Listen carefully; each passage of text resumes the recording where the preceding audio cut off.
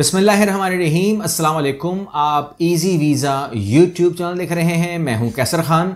और इस वीडियो में हम बात करेंगे उन तमाम लोगों के हवाले से जो कहते हैं कि मैं दुबई में हूँ, सऊदी अरेबिया में हूँ, कतर में हूँ, ओमान में हूँ, बहरीन में हूँ, यूरोप में हूँ, या जहाँ पर भी वो हैं। तो क्या वो वहाँ से कनाडा का वर्क वीज़ा अप्लाई कर सकते हैं, कर भी सकते हैं कि नहीं कर सकते? और अगर करेंगे तो कैसे करेंगे?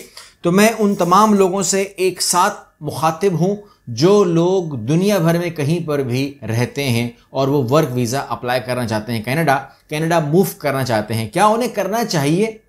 तो पहली बात तो ये कि यस जब सवाल मेरा, जवाब मेरा ये कि यस क्या उन्हें कर, क्योंकि मुझे नहीं पता सक्सेस होगा या नहीं होगा, मगर कोशिश करनी चाहिए, क्योंकि आपको उन लोगों की बात बिल्कुल नहीं सुननी चाहिए, जो कहते हैं कि कोशिश भी ना करना नामुमकिन है, मुश्किल है। ये तो बड़ी आसानी से बता रहा है। असल में बड़ा मुश्किल है। उनकी बातों में मत आइए। वो मर चुके हैं वो लोग। वो लोग मर चुके हैं। वो रूहानी तौर पर मर चुके हैं। उनकी सिर्फ़ चलती फिरती लाश है, जो मरने का वेट कर रहे हैं। करना उन्होंने कुछ भी नहीं है। उनकी बातों में मत आइए। अप्लाई करने का प्रोसेस मैं बता देता हूँ आपको। वो ये है कि अगर आप सऊदी अरब में हैं, आप कहीं पर भी हैं, पाकिस्तान में आप कहीं पर भी हों, या आप मिडल ईस्ट में कहीं पर भी हों, आप सऊदी अरब में हों, बहरीन में हो, दुबई में हो, कहीं पर भी हों और कहीं के लिए भी डॉक्यूमेंटेशन करनी हो तो उस कंट्री में हमारी ऑफ़िस का ब्रांच होने का ज़रूरत नहीं है। क्योंकि ये जो हम जो हम बात कर रहे हैं ना, ये मेटावर्स का दौर है। यानी कि जब आप फेसबुक यूज़ करते हैं तो आप फेसबुक को नहीं बोलते कि ऑफ़िस खोलो, या यूट्यूब इस्तेमाल करते हैं यूट्यूब का ऑफ़िस तो नहीं है पाकिस्तान में, मगर आप यूट्यूब पे कंफर्टेबल हैं। इस तरीके से आप कोई भी चीज़ देखें ज़रूरी नहीं कि उसका ऑफ़िस हो। फॉर एग्ज़ाम्पल कोई भी नाम ले लें आप, ये मेटावर्स का दौर है ना, इसमें आपको सिर्फ़ और सिर्फ़ आप अपने काम की बात कर सकते हैं और आप उसको वर्चुअली ऑनलाइन करवा सकते हैं। उसके लिए किसी ऑफ़िस की ब्रांच का होना ज़रूरी नहीं होता। अच्छा कैसे अप्लाई करेंगे? आप स्टेप बाय स्टेप तरीका सीख लीजिए और वो ये है कि सबसे पहले आपने अप्लाई करने की नीयत करनी है। तो पहले तो आपके, आप ज़िंदा होने चाहिए। क्योंकि मैंने कहा कि मर गए हैं वो लोग जो कहते हैं कि कोशिश ही मत करना। जो आपको मना कर रहे होते हैं, वो सिखा मखा ये बस वीडियो यूट्यूब चैनल चलाने के लिए कर रहा है और कुछ नहीं है। तो वो उन लोगों को तो आप शहीद करार दे बस शहीद भी नहीं है, वो मर चुके हैं। अच्छा अब अप्लाई कैसे करेंगे? मैंने कहा नीयत पहले। और नीयत ऐसी कि जब तक मुझे जॉब नहीं मिलेगी, मैं कोशिश करता रहूँगा। कोशिश करते रहें। Try again try again try again वो मकड़ी चढ़ती है, फिर गिर जाती है, चढ़ती है, फिर गिर जाती है, फिर क्या होता है? दसवीं दफ़ा पंद्रह दफ़ा, बीसवीं दफ़ा, चढ़ जाती है ना? तो इसका मतलब ये हुआ कि अगर पहली ही बार में वो छोड़ दे कि मैं चढ़ ही नहीं सकता तो हार जाएगा। और अगर वो कोशिश ही ना करे तो वो चढ़ ही नहीं सकती। अप्लाई करने के लिए आपने बनाया आपने बनाया एक माइंड उसके बाद आपने बनाना है अपने लिए कवर लेटर और सीवी कैसे बनाएँगे? गूगल पे जाइए Canadian style cover letter Canadian style जो सीवी है, वो वहाँ से पिक कीजिए, अपने काम की पिक करें, ज़्यादा मुनासिब है, उसे कॉपी कीजिए, अपनी सीवी तरतीब दीजिए और वो बनाइए। और उसके बाद मैंने बहुत सारी वेबसाइट्स आपको दी हैं। और अगर आपको समझ में फिर भी नहीं आती तो आप कैनाडा डॉट सी ए पर जाएँ, वहाँ पर भी लिंक्स अवेलेबल हैं। कैनाडा जॉब बैंक पे जाएँ। अब कुछ लोग बोलेंगे, भाई कैनाडा जॉब बैंक में तो कहते हैं कि जी, आपका यहाँ होना ज़रूरी है। तो आप वहाँ से अपना अकाउंट क्रिएट ना करें। मैंने बार बार कहा है, मैं दोबारा कह रहा हूँ, क्योंकि उसमें ज़्यादा तराज आता है। आप वहाँ पर अपना अकाउंट क्रिएट ना करें। कैनेडा और बैंक पर वहाँ पर कंपनीज़ हैं। कंपनी ने अपनी नीड दी हुई है। उस नीड को उठाएँ। कंपनी को उठाएँ डायरेक्ट ईमेल करें उसको। डायरेक्ट ईमेल करें तो वो आपके साथ अटैच हो जाएगी। उसमें कसम थोड़ी खाई हुई है कि मैंने जो है कैनेडा जो बैंक में इनरोल होगा, उसी से बात करनी है। एक बंदे की नीड है, वो कहीं से भी पूरी हो सकती है। इसके बाद क्या होगा? आप अप्लाई करते रहें। अनलिमिटेड अटैम्प्ट करेंगे आप, मकड़ी की तरह। करते रहेंगे करते रहेंगे करते रहेंगे। कोई आपको बोलेगा हमें आप नहीं चाहिए हो। कोई बोलेगा, अगर आप वहाँ हो तो आपसे बात करते। कोई बोलता कि, आप हमें इंटरव्यू दे दो, आप इंटरव्यू दे देंगे। कोई क्या बोले, कोई क्या बोलेगा, ये बातें चलती ना शुरू हो जाएँगी। जब ये बातें हो रही होंगी तो उसके बाद एक कंपनी आपको बोलेगी कि, हम आपको इतना ही ऑफ़र कर सकते हैं। एक ऑफ़र लेटर की बात करेंगे, और ये आप पढ़ लीजिए। जब वो आप पढ़ लेंगे तो उसके बाद अगर आपको पसंद आ जाए, जो आपको पसंद आ जाना चाहिए तो आप हाँ कर दें तो वो आपको ऑफ़र लेटर एक्सेप्टेंस को आप क्या करेंगे, उसको प्रिंट आउट निकालेंगे। ऐसे ही होता है। और उसके बाद उसको आप साइन करेंगे एग्रीड करेंगे, वापस भेजेंगे।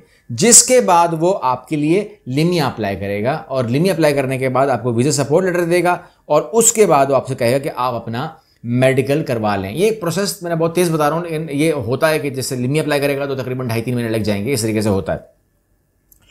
अब जब आप मेडिकल करवाएँगे और बाकी तमाम नीडफुल एक्टिविटी कर लेंगे तो आपका जो है, वो तमाम काम वहाँ पर हो गया, जिसके बाद मेडिकल होने के बाद आपका वीज़ा प्रोसेस में चला जाएगा। अगेन डेढ़ महीने, दो महीने लगते हैं, इसके अंदर भी आप मान लीजिए तीन महीना फॉर एग्ज़ाम्पल वह हो जाता है।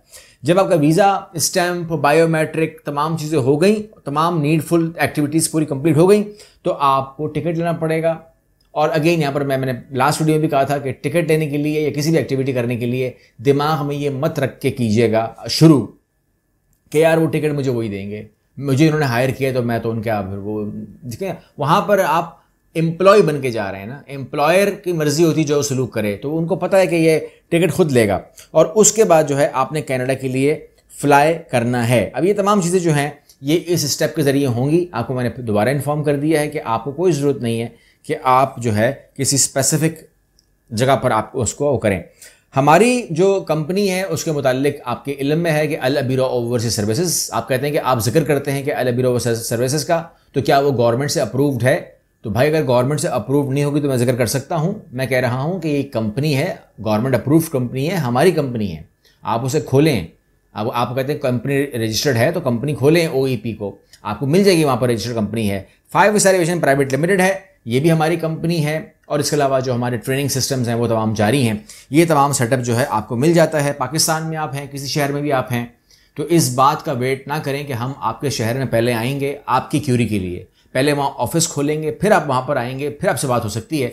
आजकल का जो दौर है, वो व्हाट्सएप का दौर है, वो ईमेल का दौर है, वो फो, टेलीफोन कर सकते हैं आप, सब कुछ कर सकते हैं। और ये तमाम चीज़ें जो हैं, इस पर पैसे भी नहीं खर्च होते। आप ईमेल करें या व्हाट्सएप करें पैसे भी खर्च नहीं होते कॉल करें, कोई प्रॉब्लम नहीं है। तमाम चीज़ें बहुत आसान है। रबता करना बहुत आसान है। अगर फिर भी आप कहते हैं कि नहीं, ऑफ़िस में मिलने की बात ही और होती है, ऑफ़िस में बैठ के गपशप लगाने की मामला ही कुछ और होता है तो फिर हमारी जो मीटिंग टाइमिंग्स हैं, वो तीन से पाँच हैं। हम पूरा दिन अवेलेबल नहीं होते मिलने के लिए, क्योंकि सुबह जो है कौंसलेट के चक्कर है अम्बेसी के चक्कर हैं तो वो तमाम करने के बाद तीन से पाँच हम मिल सकते हैं, ठीक है? और हमसे मुराद मैं नहीं हूँ स्टाफ अवेलेबल होता है ऑफ़िस के अंदर, वो मिल सकता है। और उसके अलावा पाँच बजे के बाद फिर वो जो पेंडिंग वर्क्स होते हैं फाइलिंग वगैरह तमाम चीज़ें, वो हो रहा होता है। तो उसके बाद जब ऑफ़िस का ग्रिल बंद हो जाए पाँच बजे तो उसके बाद नॉक मत करें, क्योंकि स्टाफ जो है, वो कांस्टेंट अपने एक बिल्कुल जो कहते हैं ना कॉन्सेंट्रेट करके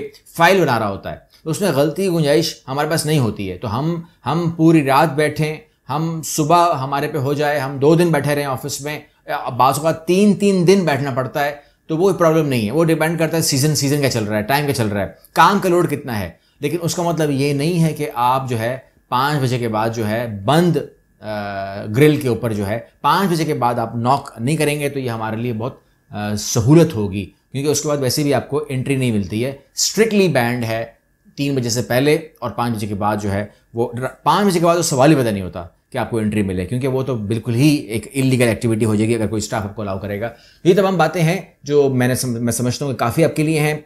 बाकी अगर हेल्प चाहिए हो तो आप जो लोग मिडल ईस्ट में रहते हैं वो वो ऑनलाइन हमसे प्रोसेसिंग करवा सकते हैं। हम हमारी हेल्प ले सकते हैं। हम तमाम प्रोसेसिंग करते हैं। आप सवाल करते हैं? तो हम तमाम प्रोसेसिंग करते हैं।